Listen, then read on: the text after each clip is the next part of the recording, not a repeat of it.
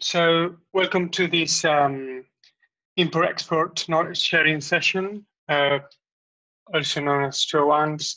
This is the second one we do at the uh, team. Um, James Lopez, uh, working the uh, team at GitLab. Um, this uh, session will be recorded and uploaded to YouTube.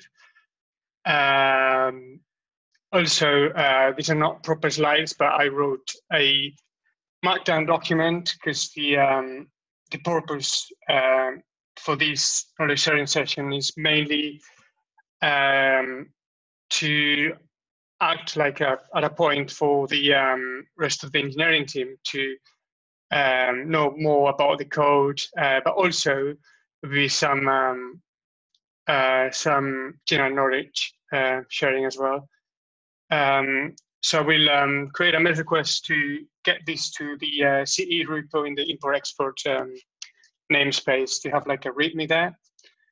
Um, yeah, the link to the slides is uh, in the, um, yeah, that one. And also in the um, managed issue, uh, there's a link in the um, calendar basically. Um, so this is probably the prettiest slide that we're going to have. Next one. So what we cover is I will do a quick demo on what the import export is. Um, then we look at the known issues, uh, problems uh, with an emphasis on performance, which uh, we have more um, more problems recently um, to do with that. Then we talk about the uh, security, um, then the uh, versioning, and probably uh, the most awaiting uh, question, which is when do we have to bump the, uh, the version? And then we look a bit uh, at the code, and we have some time for a lot of time, hopefully, for some questions. But feel free to interrupt me anytime as well. Um, so I have this project here. So the import export basically means that we can export an archive of data uh, for a project at GitLab.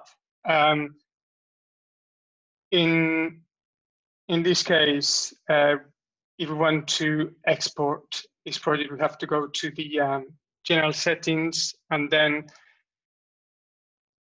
export project and there's a few things that get exported, such as the project configuration, wiki, the repository, uploads, um, and all the um, issues, comments, merge requests, diffs, um, labels, um, the LFS objects, and many other entities as well, because uh, we keep we keep adding entities to to projects. So a lot of them um, and in every release we, we keep adding things uh, to this.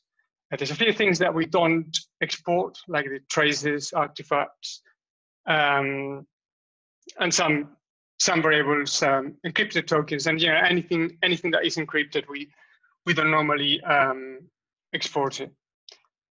Um, so if we click on export project, it should be pretty fast because is a small project anyway and we refresh the page. There's also a notification that um, gets sent to the email of the user that um, schedules this. Um, it needs to be maintained, by the way, in order to um, export uh, any project. Um, then we can click on download export, which is ready now. Um, we have the archive. now, we can uh, move this window, go to create a new project and choose the um, the export that we just um, downloaded. Um, there's a few options here. The, top, the first one is the GitLab export. There's also a similar one which um, people sometimes they don't know about, which is the GitLab.com import, and is slightly similar. Um, the difference is that the export, uh, as I mentioned before, it it does um, export quite a few things related to the project, while the GitLab.com, it uses um, authentication. So you need to configure um, the GitLab.com integration uh, through OAuth and and then you'll be able to import, I think, mainly issues, not not many things at all. So uh, people don't normally use this option that much, and just go for the uh, for the export one. Um, question: We avoid exporting CI/CD vars for security reasons. Yes, mainly for security reasons, and also um, there's another reason for that, and it's because it's not easy to export these uh, variables. We we have when we most of these um, these tokens and everything they're encrypted, which means that we use um, this DB encryption key that is sort of unique per instance. And normally this is used, although I'm, doing the import in the same instance um, right now, normally this is used for moving uh, these projects between instances, like exporting from GitLab.com to a local instance, or the other way around. A lot of people are migrating uh, from uh, self-hosting to GitLab.com, and they will export from the local instance and into GitLab.com. That has a different DB um, encryption key. Uh, so those uh, variables, those columns that um, are encrypted, they they won't uh, they won't work properly uh, because the key is different. So there's an issue about this somewhere. I think it has to do this come, comes up very often with the backup um, restore um, uh, backup restore um, uh, um, thing because then people are more interested in, in, exporting these things. While in the import export is not something that they normally ask about. Um, so a workaround for that could be asking for the DB key at some point or something like that. But um, yeah, that's one of the reasons. The other is obviously uh, security as well. Um, so let me just grab the this one we just downloaded it and um, to fill this import test. Uh, very simple demo, by the way. So now it's in progress. Uh, we'll get more into what's happening behind the scenes a bit later. But, um, um, okay, you can see it's a copy of the um, the other small project. It's basically it's got the repo and one issue, one merge request, um, and everything should, should be there, um, going some of the configuration. Um, recently started encrypting webhooks. Um, I guess we export those unencrypted. Um, mm, mm, mm, I'm not sure actually, but I can check. Um, I think I think there's an issue somewhere actually. Um, yeah, so webhooks, I think they were added by accident. Let me check quickly check this because anyway, it's sort of related to what we import and we don't. Um, yeah, maybe those, but uh, yeah, uh, this was added by mistake. Um, so there's an issue somewhere um, that we shouldn't we shouldn't export this, and this is basically ignored by the import and and probably by the export because we have a um, attribute cleaner or something like that. It will probably remove these things. Uh, we get to this class a bit later anyway. So um, yeah, but this was added by mistake. We do export these, but um, they they probably don't don't contain anything. Um, not very useful. They should probably be removed uh, because of the issue I mentioned earlier anyway. Um, so that's it from the demo. Um, there's also a bunch of things that I won't cover today because the import export is used in quite a few places, such as the instance level templates. We also have the project level and soon the group level. I think is gonna, I don't know if it's been merged already, uh, but um, all of these templates, um, they are using the um, import export behind the scenes as well. Uh, there's also the API for the import export uh, which provides a few extras like overrides for the uh, project, um, some project columns and configuration. And there's also something like a hook that we have after we um, export a project and we can pass a URL to the API saying, hey, after you export this project, then upload the export archive to um, a server, say S3 um, or wherever. Um, so those things, I won't cover them today because it's, it's quite a lot going on there. Um, but um, so that you're aware that all of these, they use the import export. Um, the next point is um, specific to debugging and uh, what to do when uh, we found a problem. Um, so the, I mean, the, the normally you get instant feedback in here instead of uh, the project was successfully imported. There should be an an error there that states, "Hey, something happened," um, which also reflects um, this import error that we can check from the console. Um, so if something happens, we we probably get notified there. Um, uh, sometimes it's not as simple, so we can we can check what's going on. Um, and there's a few things that we can do in order to uh, debug any any errors. I think the the key columns to check are these three: the job ID, uh, which comes from Sidekiq.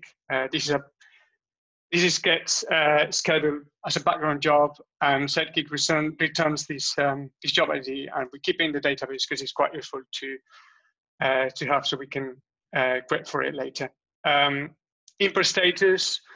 This is uh, significant as well. Um, we talk about why a bit later. Um, and the import error, which should be reflected in the UI, as I mentioned earlier. Then there's the logs. Um, this hasn't been transitioned to uh, structure logs yet, but hopefully soon. So uh, a bit annoying to grep. Uh, but there's one thing that we always do. So if there's any error, we always log uh, in um, a statement that starts with import export error. So we can grep for that. And there's also backtrace. Uh, then the job ID, uh, we can grep also the um, Sidekiq logs for it. Um, and uh, in the next slide, we will dig a bit more about uh, why that is useful. Um, so Tiago says those columns were migrated to another model called blah blah blah, which is associated to project by project ID. Yeah, that's right. Uh, I think uh, I don't know if it's called project status or something like that. But I think this works still.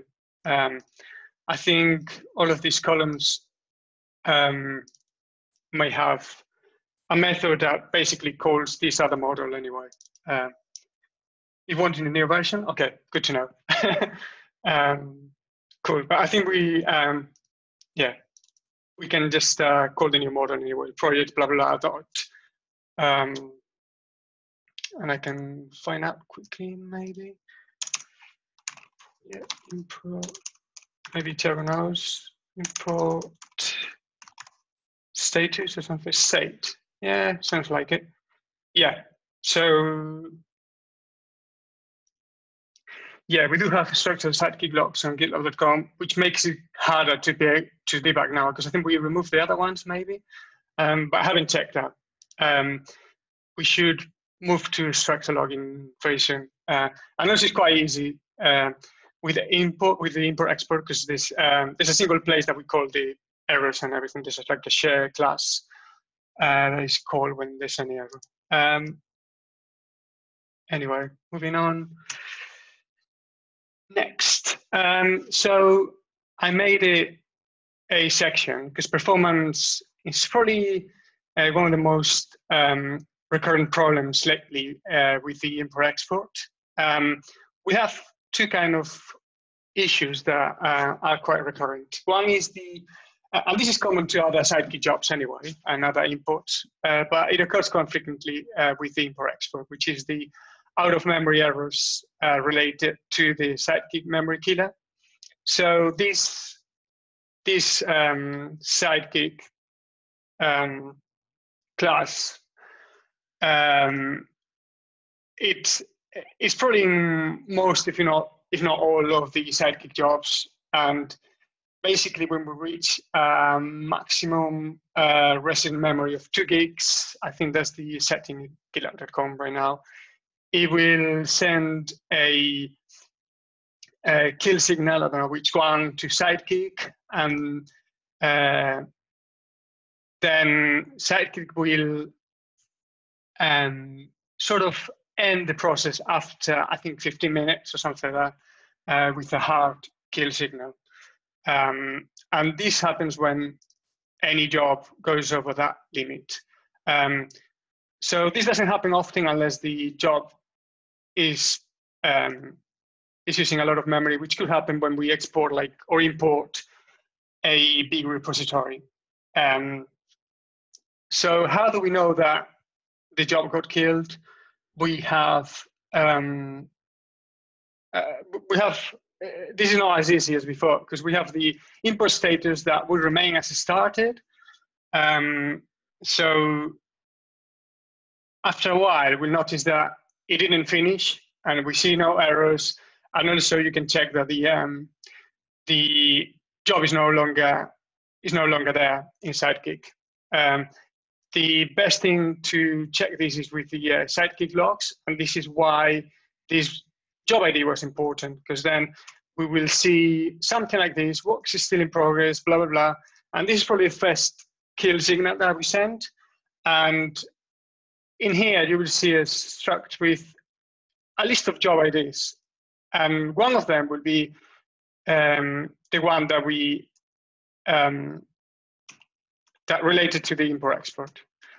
Um, this is a bit hard to debug because the, we couldn't we couldn't grep for the kill signal because it will kill the process and it may get a random job ID and not necessarily this one. Um, basically, when we schedule a say Sidekiq worker for doing the import job, uh, this will be picked by a process that has different threads. Each thread will have a job ID.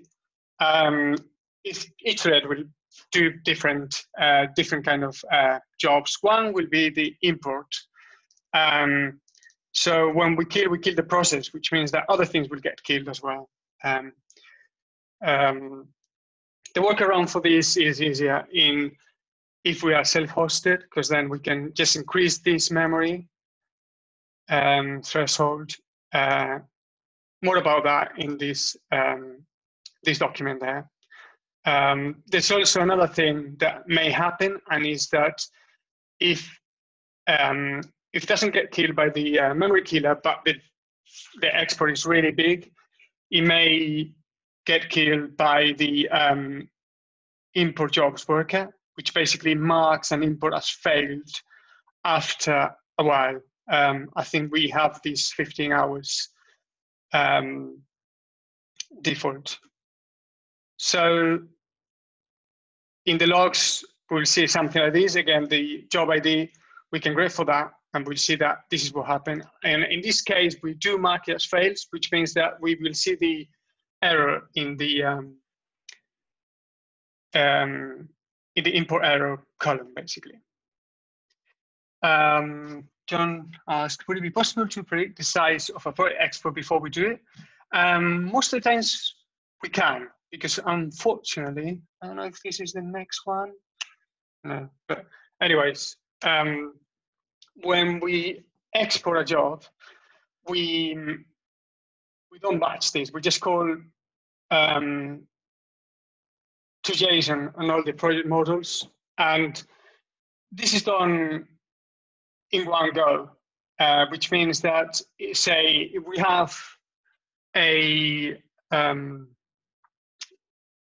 uh, let me let me check this in here actually. So it might be easier if I open one to see, so you can see the, uh, the contents of one of these archives. So basically, the key one is this JSON file, because we load all of this in memory. So the size of this will represent probably what we're going to use, uh, the memory that we're going to use. So uh, there are issues that I will link later to, to fix this, this problem. Uh, there are a few things we can do, basically, but it's not patched or anything.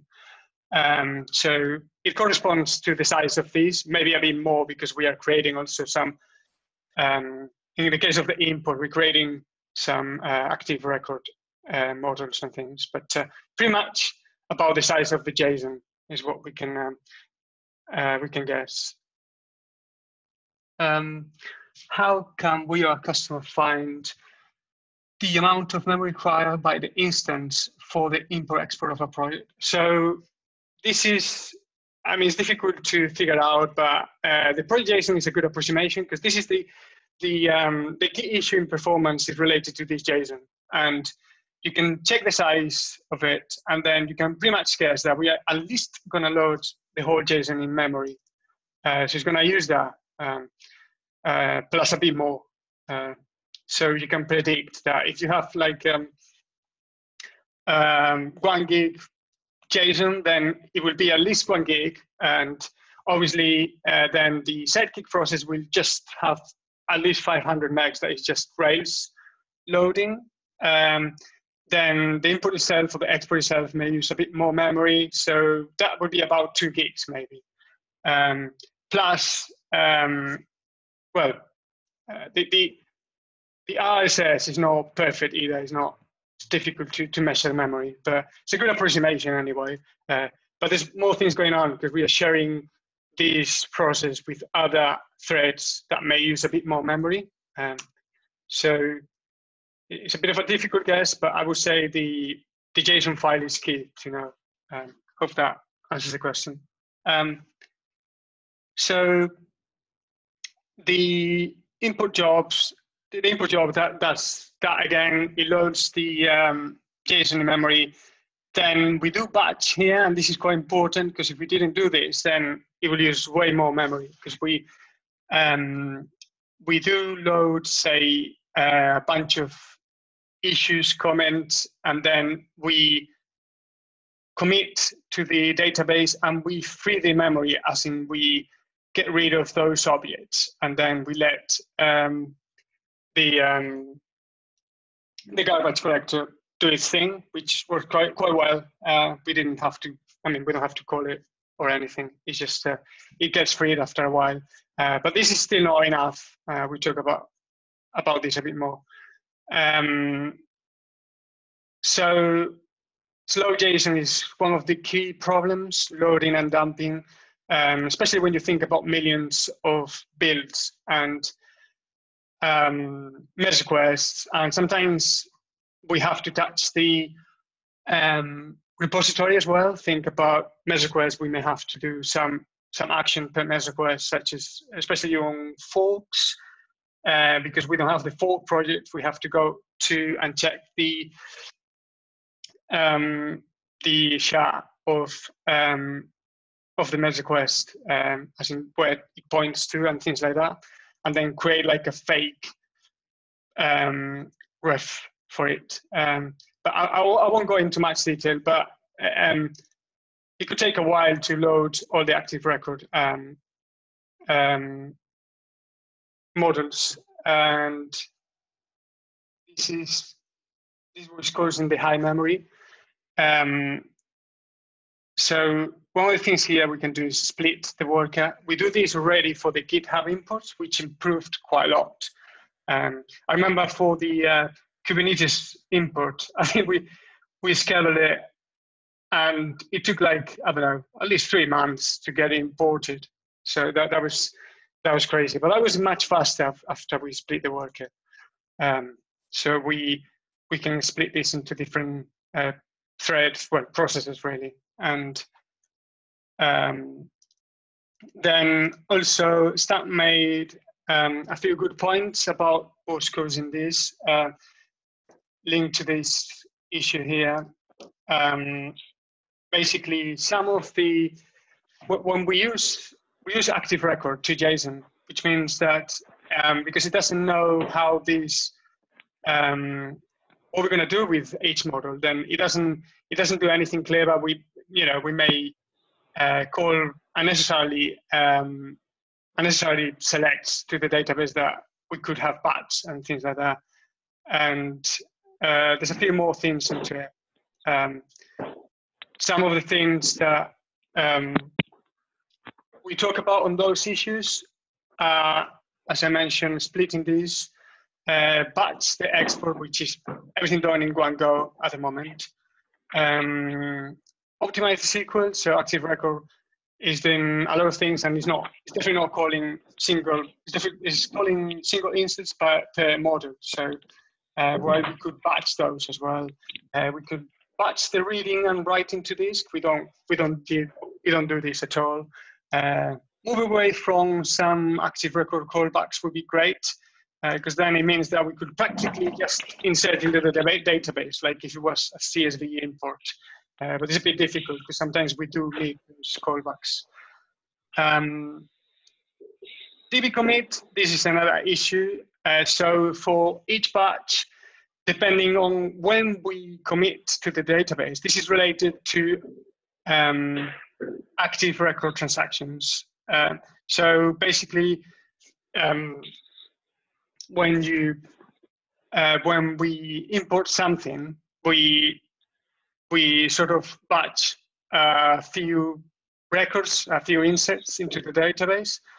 And then after each batch, we commit into the database because if we don't do, then all of that will be in memory and it, it will it will use a lot of memory basically. Uh, the problem with this is that it will get slower. So the more often we commit, the slower it gets.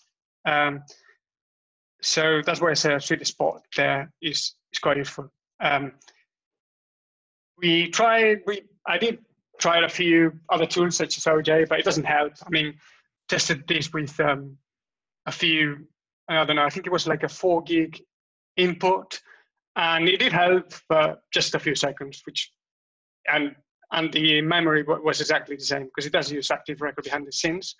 This is promising, this uh, FastJSON API, I think Stan mentioned in the issue as well, that may help um, then, well, there's a few a few links there, uh, so feel free to uh, to dig if you're interested in and digging a bit more into this.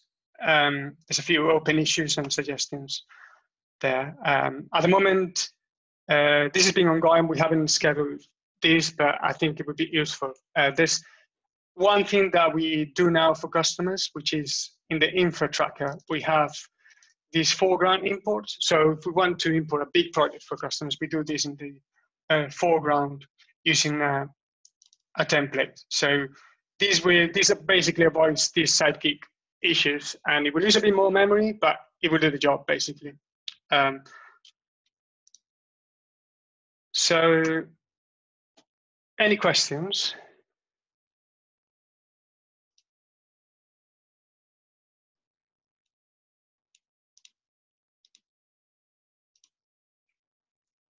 Okay, move on to security.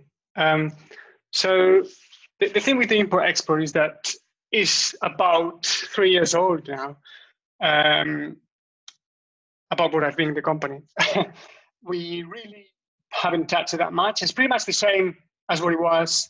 So that is why performance now, because we keep adding things to it, um, um, got really slow, then we should also perform a code audit, uh, code audit because we we keep encountering a few security issues, especially lately, and we haven't really dig much into it.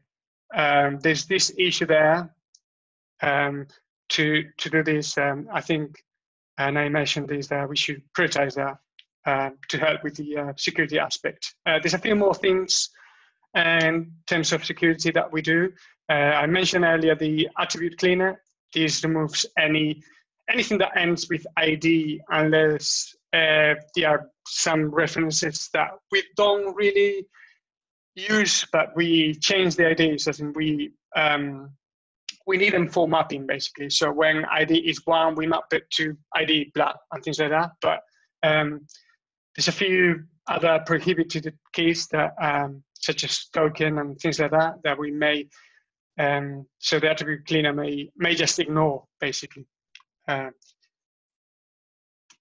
the other things is that we have a few specs that um, check for, for instance, for the addition of new columns. So um, this happens quite frequently when we add new things to anything related to a project or anything that hangs in the uh, project tree, um, we this this spec automatically detects uh, that there's a new uh, there's a change in a model that added a new column, and it makes you think about it and say, hey, do you think this is safe to export or not? And it tells you uh, what to do.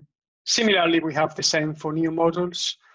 Um, so we had a new model that hangs from project, then this spec will fail and will let you know that you have to decide whether it's a good idea or not to export it. Um, there's a few more things such as detecting and encrypt all sensitive columns. Um, so this is practically the same as the other specs. Uh, we have a safe list. Um, uh, so words like pass, password, token, and things like that.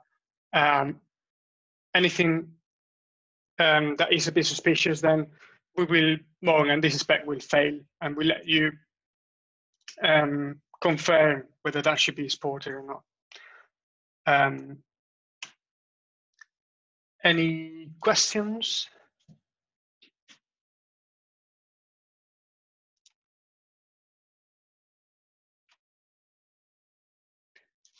Okay, I'll drink a bit of water.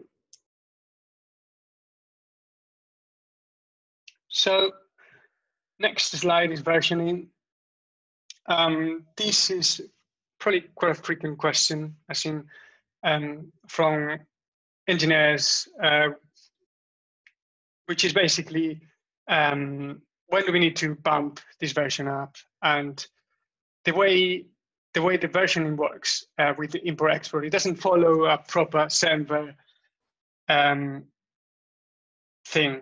Um, so the version is basically if we increase this number, then it will mean that it won't be compatible. And this is because we keep changing it. So for, for a specific release, we, we add quite a few changes that do not require um, a version bump, as in they won't break the import export. And if we were to add a new, increase this number per, um, per change that is not, it doesn't break anything, then um, yeah, it would be probably maybe 10 times every time we release a new GitLab version because we keep adding new things.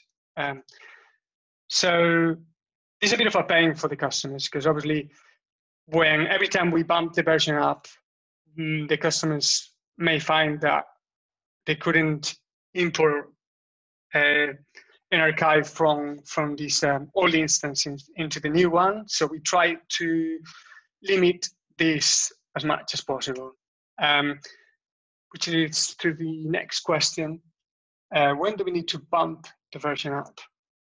Um, mainly when we rename a model or a column, or we have format modifications that make it completely compatible, um, or the structure or the file itself. Say, you won't see it here, but we may have like an uploads folder where we keep these things in there. If we rename that folder or we change the structure of this file, it will break. Um, that doesn't happen often. Um, what normally happens is renaming. Um, sometimes removing a column, um, although most of the times adding a new column or a model uh, doesn't imply any version bump because the import will ignore this anyway, so it wouldn't it wouldn't complain. Um, so we can uh, we can do these things without needing to to change the version. Um, one thing when we change the version is that the integration specs that contain, one of them contains a file like this and contains the version, um, those will fail because we, we bump in the version and it will moan about the, um, the new version. There's a, there's a rake task that basically um, bumps the version on that um, spec file for us. Um, it's quite easy on, on Emacs, as you can see. um, renaming is one of the main problems we have, um, especially when we, because we run on uh, RC at GitLab.com, and most of our customers or users, they don't, um, is a bit of a problem. And this has changed recently, and we try to now support at least one further version, so we don't have this problem. Um, so basically, now we can use this um, this service here that um, for one for one version, say 11.6, we make it compatible, and in this example, we renamed uh, pipelines to CI pipelines. Um, so for 11.6, exports from 11.6 will work on all the instances because it will get exported as pipelines as well. Um, while in 11.7, we will expect this to be to be removed. Um, and this um, this is great for customers because then once we deploy in RC and GitLab.com, um, most of the exports that they have, they, they, won't work if we bump the version up. But with this change, uh, hopefully it will, it will help. Um, so, yeah. Um, any questions? Um, okay, Luke is asking, what was the reason for not using standard semver? Because it can happen a number of times each release. Yes, um, because there are compatible changes um, all the time. We, we keep adding um, not only models but columns and changing stuff uh, very frequent. Then we could do it, but I think it's a waste of time because it's not very useful really. And and sometimes you don't know that you're actually modifying the import export because um, as I mentioned earlier, it's very dynamic. And if you add a column or things like that, you're actually changing it, but you're not aware because it wouldn't complain. It would just ignore it. Um, so that is the main reason. And to be honest, the this is really useful mainly for um, compatibility reasons, uh, because then you can always check really the GitLab version, and there's this mapping and version history in the uh, in the import export document, which is quite useful as well. Um,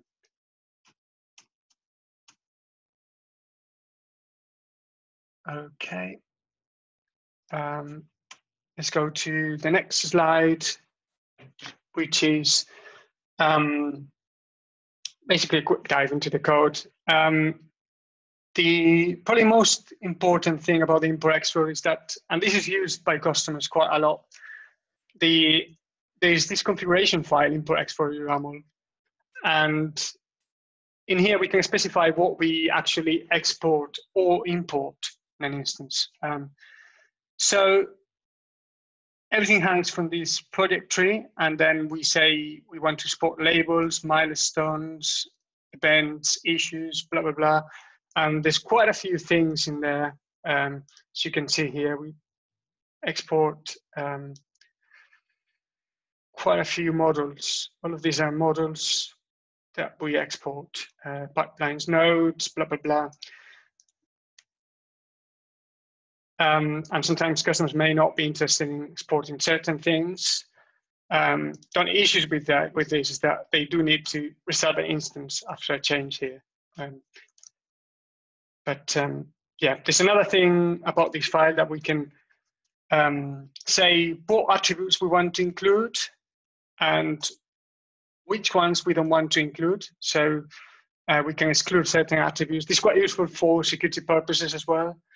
Uh, we can ignore tokens and things like that. Uh, there's this methods section as well um, in here. And this is, we don't use it very often, but sometimes we may want to export certain things that uh, may not have like a relation, or we may want to ignore the relation itself and do something um, to that model.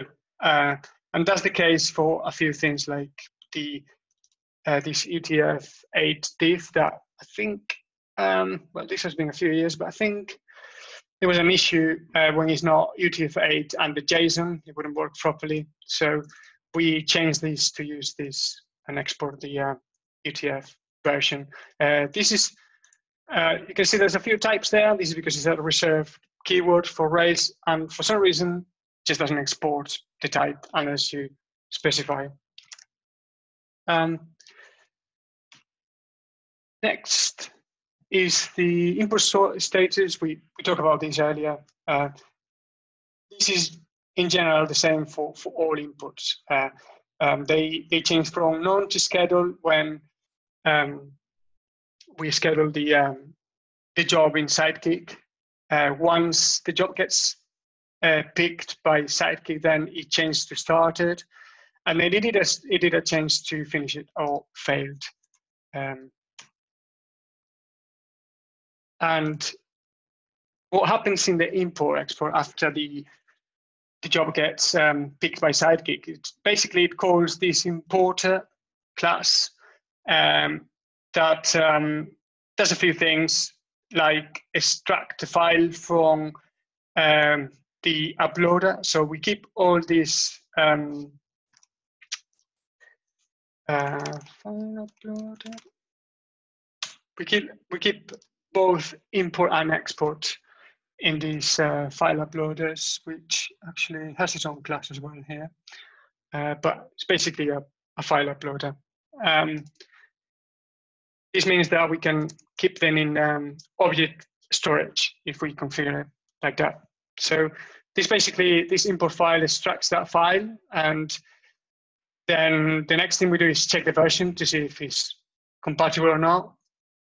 Then we call a few restorers that basically what they do is just um, either extract the repo and extract everything to do with the database models, um, uploads, LFS, um, yeah, and a few other things.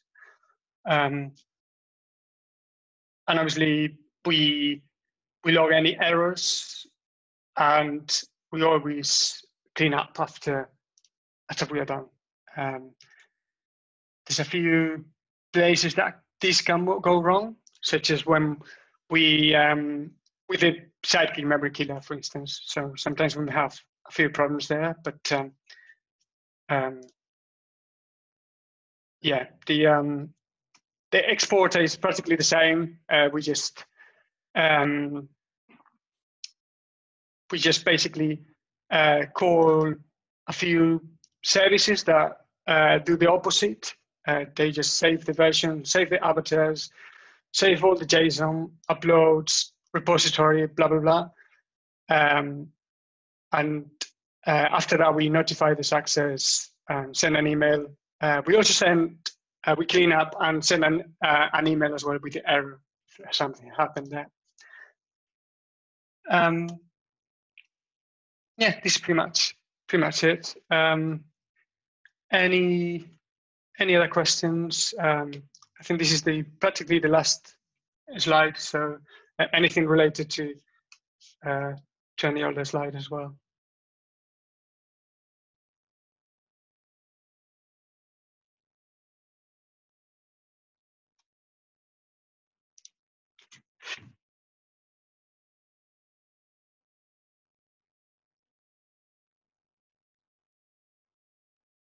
Um, okay, I, I listed a, um, a few links in the end as well.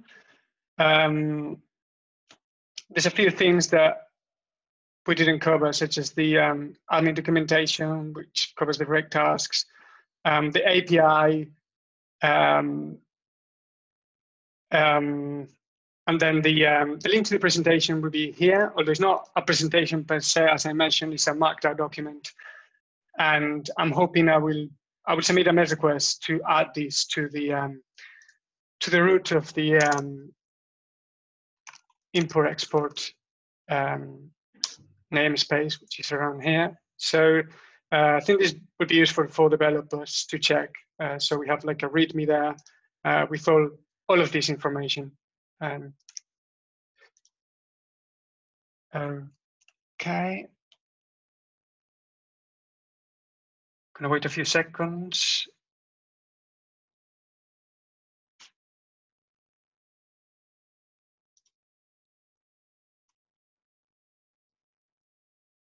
Okay, I will give you back uh, 15 minutes then. Um, thanks for your time. Uh, definitely, if you have any other questions, feel free to join the, uh, the Manage channel and, and ask there. Uh, thanks a lot.